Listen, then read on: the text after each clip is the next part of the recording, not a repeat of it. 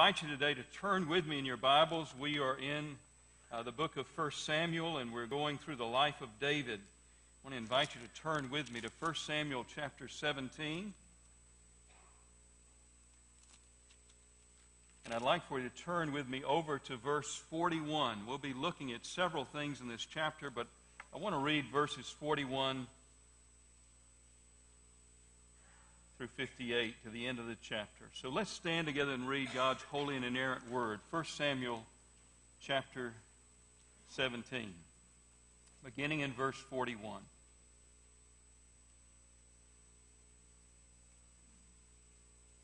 Then the Philistine came on and approached David with a shield bearer in front of him.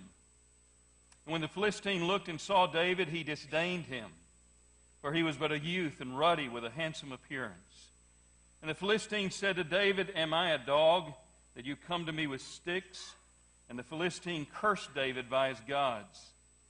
The Philistine also said to David, Come to me, and I will give your flesh to the birds of the sky and the beasts of the field.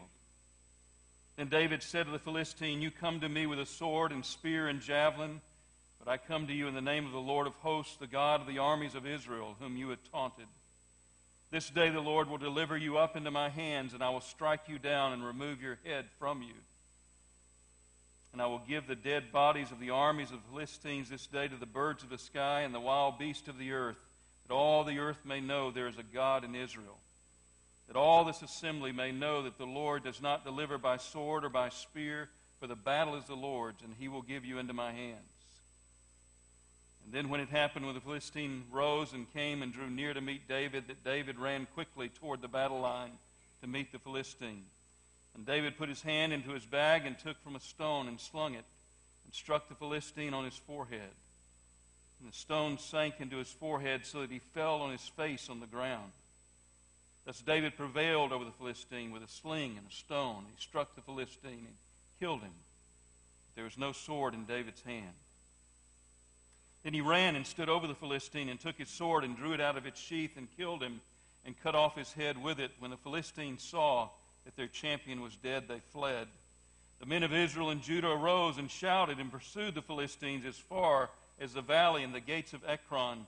And the slain Philistines lay along the way to Shamron, even to Gath and Ekron. The sons of Israel gathered, returned from chasing the Philistines, and plundered their camps. And David took the Philistine's head and brought it to Jerusalem, but he put his weapons in his tent. Now, when Saul saw David going out against the Philistine, he said to Abner, the commander of the army, Abner, whose son is this young man? And Abner said, By your life, O king, I do not know. And the king said, You inquire whose son the youth is. So when David returned from killing the Philistine, Abner took him and brought him before Saul with the Philistine's head in his hand. Saul said to him, Whose son are you, young man? And David answered, I am the son of your servant Jesse of the city of Bethlehem. Let's bow our heads in prayer. Father, we thank you for the power that we see in this passage of you taking a very young man and using him to stop an entire army. Father, we pray, we think about our own nation, and we think about, Lord, the uh, scourge in our land, the terrible scourge of our land of abortion.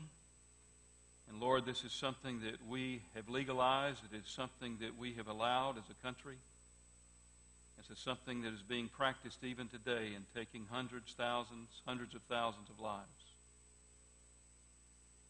Children created in your image those who are most defenseless, their lives are being taken freely. And Father, we ask for your forgiveness. We ask you would cleanse us of this sin. And Father, we pray for repentance as a nation. We pray, Lord, that you will turn this from our country. We pray, Lord, that you will do that even this year. And Lord, we pray that you would do something that no one thought David could destroy a giant. Lord, help us not to look to men, but help us to look to you. Help us to trust in what you can do, not what we might be able to do. Lord, all of us face great trials in our life. And we pray, Lord, that we would live by faith and not by sight. And we ask, O oh Lord, that we would learn the true lesson of this passage, that it would be a powerful lesson through the power of the Spirit in our life, and that truly our perspective would change, our thought processes as we live by faith would change, and that, Lord, you would help us to have our minds renewed, and that we might truly begin to live more and more by faith and not by sight. And we pray this in Christ's name. Amen. We all know this story. It's probably one of the most well known stories in the Scripture. The young man David facing the giant Goliath. We know the story, but the question is have we learned the lesson? Let me ask you a question. Why is it, with such great assurance, that we can trust God for our eternal life, and yet we continually struggle with trusting God in our daily life? Why is it that we can say with absolute certainty, yes, I know that I'm going to heaven, and I'm going to heaven not because of myself, but because of what Christ Jesus has done on the cross for me? Why is it that we can have such assurance in trusting God for our eternal salvation? And yet we have so much difficulty trusting Him in our day to day life. How often is our mind consumed by worry? How often are we captivated by various fears? And how often do these fears, quite honestly, lead us toward disobedience in our life because we're not trusting God as we should? We don't know the origin of the Philistines.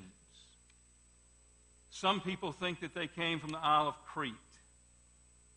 They did not worship Yahweh. They did not worship the Lord God, the Lord of hosts. They worshiped Dagon, who was half man, a grotesque figure, half man and half fish. That was their God. And they had come into the land of Israel and they had settled in the coastal plain. And they lived in five very fortified cities. Cities with names like Ashdod, Ashkelon, Gaza, that's right, you know that city, Ekron, and Gath. And they had settled in those cities and they had fortified them and they controlled the whole coastal trading route that went through Israel. They had become masters of metallurgy. And they were able to craft their weapons in a way far superior to what the Israelites had. They were able to incorporate iron into their swords and their shields and their chariots. And they controlled that so much during the time of Saul that they did not allow any of the Israelites to be, have their own blacksmith. If you wanted to have, go to a blacksmith and have metal pounded, you had to go to the Philistines. This was their way of weapons control if you were in the land of Israel. And so Israel was living under the thumb of the Philistines even while Saul was king. And what they would do is they would take raiding parties and they would go into the land of Israel and they would raid, they would slaughter, and they would plunder, and then they would go right back to their fortified cities, seal themselves up, and do this basically with impunity, without any problem. And so they had made one of these raids into Israel, and now they were coming back, and Saul had lined up his forces against the Philistines. This is the valley of Elah. It's south of Jerusalem. You can go there today. And it's a battlefield. It's used many times for battle. And on the southernmost part of that valley, you had the lines of the Philistines drawn up. And on the other side of that valley, on the other ridge, you had the lines of Israel drawn up. And what had happened is that the Philistines had decided that they wanted to battle, use this battle to destroy Israel, but they thought that they would do it in a different way. And this was done in combat in those times. They decided that they wanted to battle by proxy. And they had a champion that they could use, that they would send forth before the people of Israel. And the agreement was this if our champion wins, you become our slaves. If your champion wins, we'll become your slaves. And they had a champion. They had a champion who was a giant. And his name was Goliath. We read in Joshua chapter 11, verses 21 and 22, that Joshua conquered the promised land and he killed all the Anakim. That's the scripture's name for giants. But he did not kill those in the cities of Gaza and Gath and Ashdod. That's Joshua chapter 11. And here's a giant from the city of Gath. His name is Goliath. And based on the measures the Scripture gives us, he is about nine feet nine inches. You put a helmet on him, he's 10 feet tall. For perspective, that means that when he stood, if he was standing in a basketball court, his head was even with the goal. That's how large he was. And he is covered with this armor that only the Philistines could make between them and the Israelites. They had developed this technology, this metallurgy, this ability to put iron into their armor. And so here he was standing with this, what seemed like impregnable armor, covering him from head to, ho- to toe helmet, shield, breastplate, armor on his legs. His javelin would have been possibly the size of a small telephone pole. The head of the javelin weighed 15 pounds. And to give you an understanding of basically what this means as we extrapolate this back, it means that his total body armor would be about 275 pounds. The average soldier at this time would have body armor of about 60 pounds. It's four times the strength of an average soldier. He has in front of him a shield bearer, and so his shield is such that he has a soldier that carries his shield for him into battle. And he stands in the valley of Elah and he cries out to the people of Israel and he taunts them. And he taunts their God because he is for Dagon. He doesn't believe in the Lord of hosts. He doesn't believe in Yahweh, the God of the people of Israel. And he taunts them. And he does this one day, he does this two days, he does this three days, he does this four days, he does this five days, he does this for 40 days.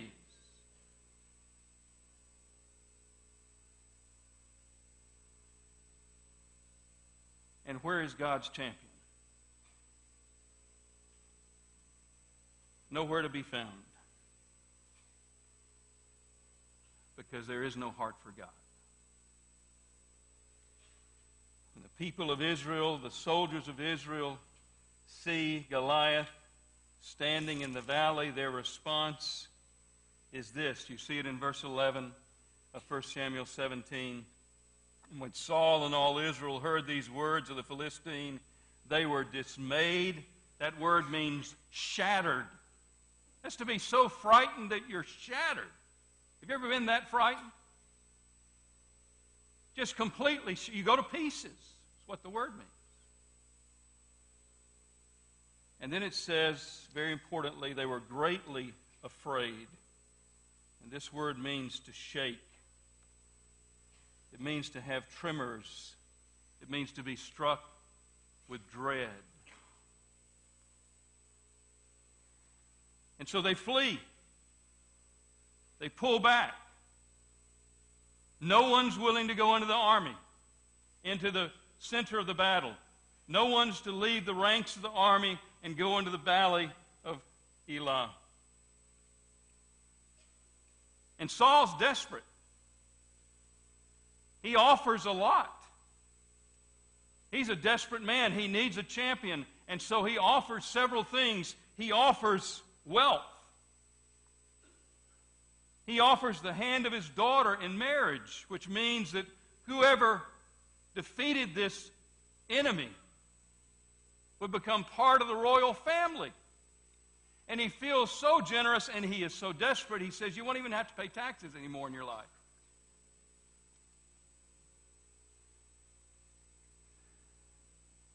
No one would go. David's brother Eliab, his older brother, would not grow. He was a strong and powerful person, someone that Samuel thought would certainly be the next king of Israel. He would not go. Abner would not go into the valley, the captain of Saul's army. Abner, certainly a gifted soldier, would not go. We're not told about Jonathan in this passage, but if Jonathan was there with his father Saul, he would not go into the valley, and certainly he was a courageous person.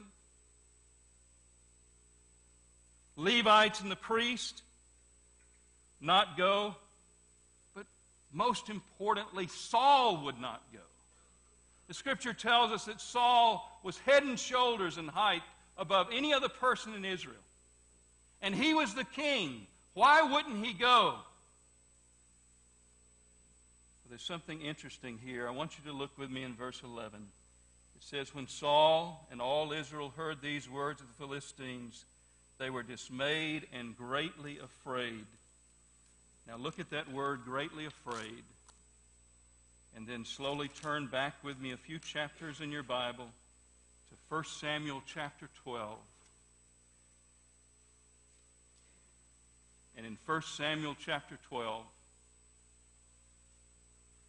Samuel is speaking to the people of Israel. They have decided to move away from God being their immediate ruler and king, and they've wanted an earthly king.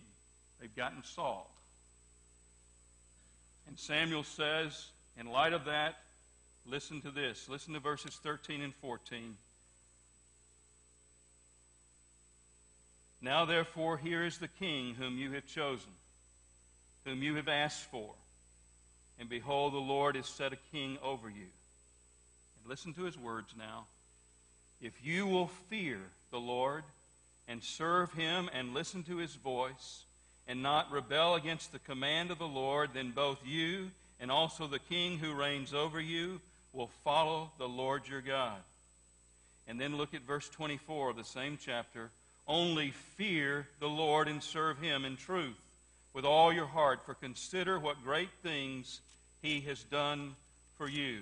The word that is used for the fear of the Lord is the same word through the inspiration of the Holy Spirit that is used in 1 Samuel chapter 17, and the connection is clear and the connection is obvious that the people of Israel were giving to Goliath and his power the fear that only God deserved.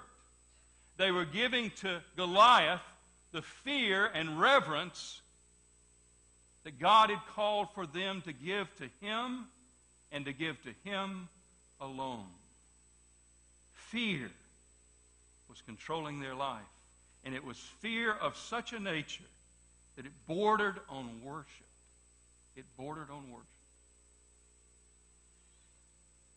So the question is who will stand for God? Will anyone stand for God? Or will all of Israel turn their back and run back toward their, their forts and their cities? Who will stand for God? Let's look at some characteristics of the one who stands for God in this passage. The first is this is that those who stand for God are led by God. Those who stand for God are led by God. David, he's a young man. He's between 13, 15 years old, the best that we can understand. He's not ready for warfare in man's eyes, and so he's out tending the sheep. And Jesse hasn't heard from his sons. His three sons who are out in battle. He has eight sons, but he has three They're out campaigning with Saul in battle. And he hasn't heard from them. And so he calls David and he says, Come, I'm going to give you some bread. I'm going to give you some roasted grain. I want you to take it to Eliab and the rest of the boys, I've got some cheese for you that I'm going to give you, and you take the cheese to their commander, make sure everything's good there. And you find out for me how things are going in the field, and you come back and talk with me. David doesn't know what's going on in the valley of Elah. He doesn't know that there's this champion that is taunting the people of God. He's just simply following his father's instructions. And he goes to the battle. He goes to the battle. David comes and he sees that the armies are drawn up against each other. And as he meets his brothers, Goliath makes his daily foray into the valley of Elah and taunts and ridicules the army of the people of God and ridicules the living God himself. And so God providentially places David in a situation where he will face this enemy of God himself. It is not an easy place. It's not a safe place. It's not a happy place. And quite honestly, David, by trusting in God, will go to far worse places that will be more difficult even than this in his life. Let me ask you do you believe that God places you where you are? Do you believe that you live under the providence of God? Or do you believe that you live by chance? That's about the two choices. Where do you believe that you live? Do you see God guiding you? Because sometimes when He guides, it's not going to be a safe place. Sometimes when He guides, it's not going to be an easy place. Sometimes when He guides, it may not be a happy place. It's the place that God places you. Do you see God's providence in your life? And do you see these providences as God leads you as opportunities to trust Him? Do you see your life from that perspective? Secondly, those who stand for God will face criticism. David asked the question in this chapter. He says, um, Who is this Philistine? Saying these things about our people? And more importantly, who is this Philistine saying these things about our God?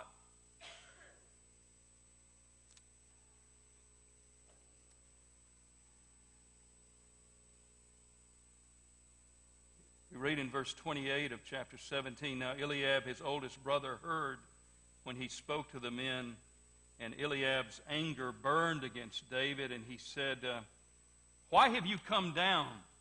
You can hear the older brother condescending to the younger brother. Why have you come down here? You have no business here.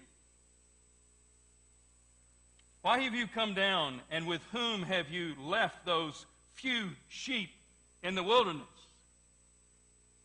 You see? what a shot. You're not important, and be quite honest, what you do at home isn't important. What are you doing here?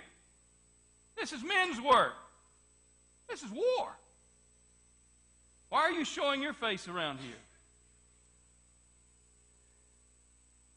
He says, I know your insolence and the wickedness of your heart, for you, for you have come down in order to see the battle. No football games in those times. You've come down here for the game. You've come here to see the battle. You freeloader, you need to be back at home watching those few sheep that God, that our fathers put you in charge of.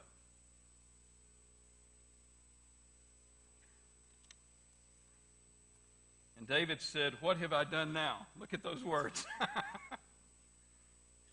Was it not just a question? He had taken that before. He will face criticism by Saul as well. Saul will tell him he's not experienced enough to face Goliath. And certainly he will face criticism by Goliath, who will call him a dog and ask him, Have you come out to fight me with sticks?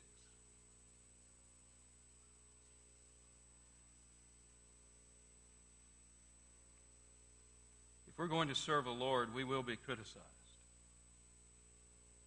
We have men who are about to be ordained and some who have already ordained and they'll be installed as officers in this church.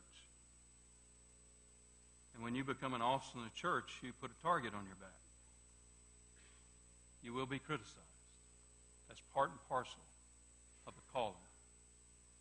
It's the nature of ministry. Are you willing to stand up to the criticism? Because if you stand for God, there's a great possibility that you're not going to be applauded. You're going to be criticized if you stand for God. Thirdly, those who stand for God will face overwhelming odds. Humanly speaking, there are no odds with God. But humanly speaking, those who stand for God will face overwhelming odds. Very rarely in Christian endeavor has the normal, natural situation been in favor of God's people. And if we're waiting to do something for God in which everything lines up in our life to act for God and to do for God, then probably we won't ever act. How often are Christian ministries and churches shipwrecked? Because those who lead it are always looking for the fair weather to sail. They always look through the prism of Goliath at what is going on. In Jerusalem, if there had been odds makers who were fingering their abacuses trying to count their beads and bets, it'd probably be 300 to 1 that Goliath would win, 400 to 1 that Goliath would win, and the one and the reason those odds would be that low is because they would think there is a slight possibility that Goliath would hurt himself when he went into battle.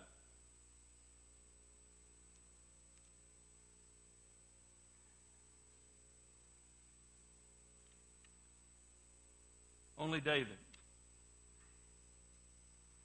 did not look at Goliath. He looked at God. Only David. David knew there was no such thing as odds when it came to God. This is Pro Life Sunday, and I'll share this. I've shared it before, but and it says nothing of anyone but the Lord. But when Sally and I had our first child, we lost our first child a few minutes after birth. And we had a genetic problem. The child out of a syndrome, Vena Sokir. And we went to a geneticist at the University of Mississippi, and we sat down with him, and he had our records. And he looked at them, and there was a a one in four possibility that any child that we had would die shortly after birth. And he was the authority, I guess, in the state of Mississippi. And he said that if you get pregnant again, I advise you to have an abortion. And so we went back to our car and we sat down and we cried because we had lost our first child, and it sounded like we might not be able to have any other children. We knew we would not have an abortion. And we cried and we prayed and we talked. And I simply said to Sally, we talked, and I said, There are no odds with God. It doesn't matter what they say. We'll trust the Lord. He's given us two children. Now, very clearly, something different could have happened. We could have lost every child that we conceived after that. But that's not what happened. There are no odds with God. If you're going to stand for God, you will face overwhelming odds. And on that day, one of the greatest moments in the history of Israel occurred. It was about a thousand years before the birth of Christ. And David goes out in the field and he gathers five smooth stones. And if you're wondering why he gathers five smooth stones, you can read 2 Samuel chapter 21 through 2 Samuel chapter 24. And David is going into the field with a full knowledge and the possibility that he must slay four, for Goliath has four sons. He picks up five stones.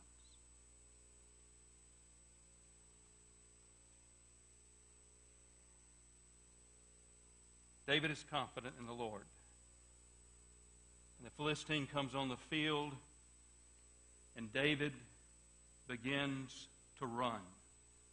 He begins to run. The scripture says, quickly. The word that is used, David ran quickly toward the battle line. David isn't hesitating. He is sprinting toward his enemy.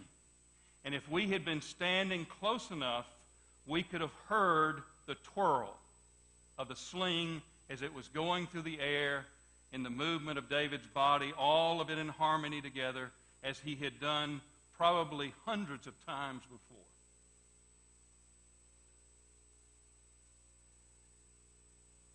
And he knows where he needs to be. He takes the initiative away from Goliath. And he gets to the point where he needs to be. And he unloads. And the rock goes, can go between 60 to 100 miles an hour. It's interesting that an extremely skillful Roman archer would practice at 200 yards. An extremely gifted slingman in the Roman army practiced at 400 yards. That's how deadly someone who was skillful with a sling was. And David lands just exactly where he's aiming at the head of Goliath. And Goliath comes down. He falls face first. What does that tell you? It tells you he's out as he falls. God has raised up a warrior who did not depend on a sword or a spear or even an arrow, but a projectile slung from a sling. The weapon was unaccounted for by the Philistines with their advanced armor. With one shot, he's a dead man. David did this because he trusted in the Lord, because he did not look at Goliath, he looked at God. Fourthly, those who stand for God live by faith. David believed that God was worthy of his trust. I believe that when Saul sent David into battle, I have a good feel. I can't say this, and I don't want to put things in Scripture that's not there, but I have a good feeling that when David went into battle, Saul was looking for his horse. Because I don't think Saul thought that David would walk off that field. I thought he had someone who could go on the field. He could say, We did have a champion, it didn't work out, and we got out of there. I don't know. Honestly, don't know.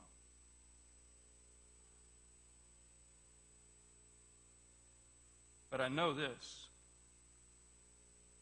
I know that David knew in his heart that he could take down Goliath. How do we know this?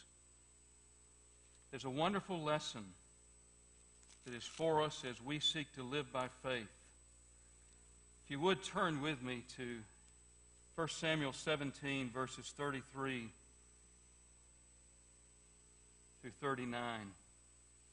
I want you to see something that's very, very important as we walk by faith and how God can build our faith.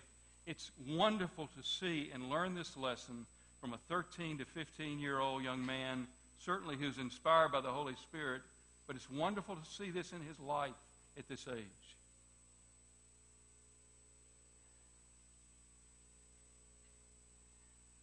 Verse 31, when the words which David spoke were heard, they told them to Saul, and he sent for him. And then verse 32 of 1 Samuel 17, David said to Saul, Let no man's heart fail on account of him. Your servant will go and fight with the Philistine. Then Saul said to David, You're not able to go against this Philistine to fight with him, for you are but a youth, while he has been a warrior from his youth. But David said to Saul, Your servant was tending his father's sheep. And when a lion or a bear came and took a lamb from the flock, I went out after him and attacked him and rescued it from his mouth. And when he rose up against me, I seized him by his beard and struck him and killed him. And your servant has killed both lion and bear, and this uncircumcised Philistine will be like one of them, since he has taunted the armies of the living God. And David said, The Lord who delivered me from the paw of the lion and from the paw of the bear, he will deliver me from the hand of this Philistine. And Saul said to David, Go and may the Lord be with you. And so David outlines for Saul why he believes that the God will deliver him from the hand of Goliath. Saul's response in verse 38 is as though David hasn't said a word about God. Saul says, Then Saul clothed David with his garments and put a bronze helmet on his head, and he clothed him with armor. David is talking about trusting in the Lord, and Saul is talking about trusting in his armor. It's as though David has given nonsense gibberish in front of Saul because he's talked about God. And Saul trusts in his armor and he says, Here, after you said all that, take this and maybe it will help you. A friend of mine in Mississippi, Lynn Sprecher, served in World War II on uh, the U.S. Brownson. It was a destroyer in the Pacific. It sank. And the morning that that ship sank with Lynn on it, he was in the radio room. They heard uh, they were, of course, the first ones to hear through radio that there were uh, bombers coming in. And he turned to his uh, chief, who he worked under, and he shared the gospel with him. And his chief looked at him, smiled, and said, I'll tell you what I trust in, Sprecher. And he patted his life vest. He said, This is what I trust in. And Lynn never saw that man alive again. Men, women, boys and girls, we can trust in our own armor, but it's insufficient. It's insufficient for the day. Then look at David's response in verse 39.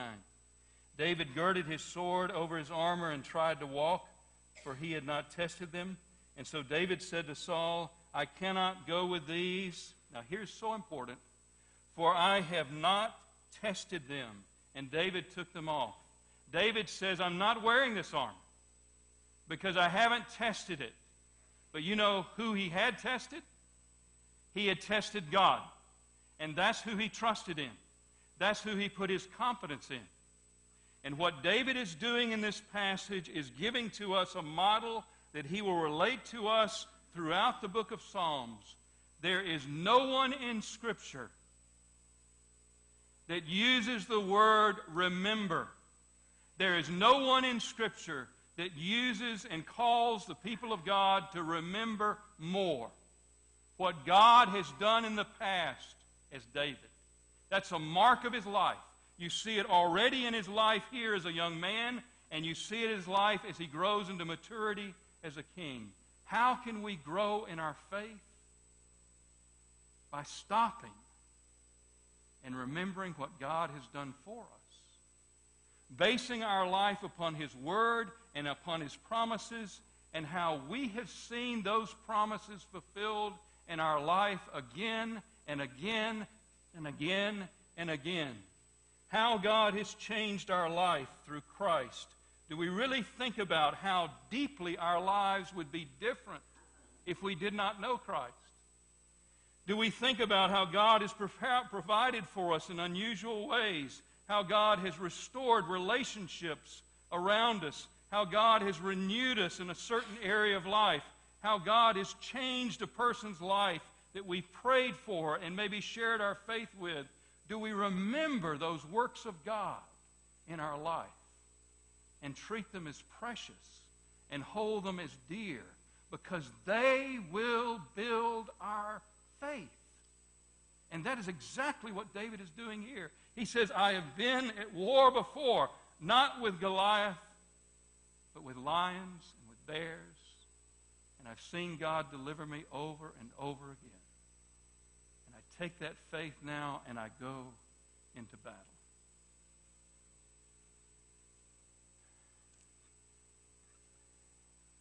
When our church first started, when not when our church first started, but when I got here, church had been here for 10 years. There was an elder who served on our session and served a number of terms. And when we get in a difficult situation, that elder would say, I can hear his words. Men, are we trusting God? Do we not believe that God can't be trusted? Trust the Lord. And he said that again and again. I can't tell you how that encouraged me as a pastor. If you're going to stand for God, you're going to have to do it by faith. By faith. And certainly, those who stand for God stand ultimately for the glory of God. That's why they do what they do. And so, look with me, if you will, at what David says in verse 45. And then David said to the Philistine, You come to me with a sword, a spear, and a javelin. But I come to you in the name of the Lord of hosts, the God of the armies of Israel, whom you have taunted. This is why David goes into battle. He doesn't go into battle for treasure. He doesn't go into battle for the hand of Saul's wife. He doesn't, he doesn't go into battle so he could avoid taxes for the rest of his life. He goes into battle because this man is defaming the name of the living God and he will not have it. That's why he goes into battle. The name of God is more important to David than anything. God's glory. God's glory. You know, there is one greater that has stood with David. He stood for David. He stands for us. David won this battle. The Philistines fled, and an entire army was defeated by David's action in the field that day. There's one far greater than David who has gone into the field for us. He is the Lord Jesus Christ, and He has stood, and He has defeated sin and death, and He has done that for His people. His one action on the cross affects the lives of all of His people. And the question is how can you be one of His people? You can be one of His people by recognizing how serious your sin is before God a holy God. And by turning from your sin in repentance and turning toward Christ and Christ alone by faith as your Savior, to forgive you of your sins, and as your Lord, to cleanse you, make you righteous before Him. Do you know Christ? Do you know that one who has stood in proxy for us?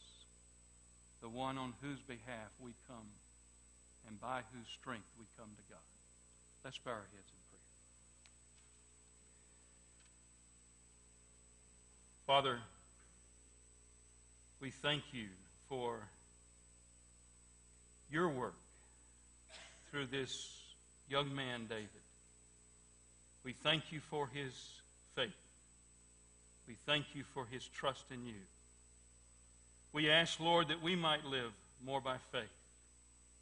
We pray, Lord, that instead of worries and fears and doubts, all of which lead to disobedience, that, Lord, we would stop being led by fear and we would begin being led by you, by looking to you in faith and trust. Help us as the Scripture commands us to fill our minds, to remember all of your great work, and specifically, Lord, the work that you have done for us in your Son and the work that you have done for us in our life as we have lived our Christian life.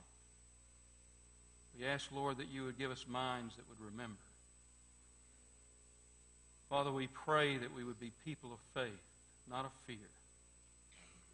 And Father, we pray today for any soul here who does not know Christ. We pray that they would stand with Christ today. We pray, Father, that they would see the depth of their sin. They would understand that they stand not as friends of God, but enemies of God because of their sin. And that, Lord, that they would repent. They would surrender their heart and their will to Christ. And they would fully and completely embrace Him by faith, trusting in Him alone as the sole source of salvation. Through your Spirit, O Lord, awaken their heart that they might abandon themselves and trust in Christ, to cling to Him. Pray this in His name. Amen. May we stand for the benediction.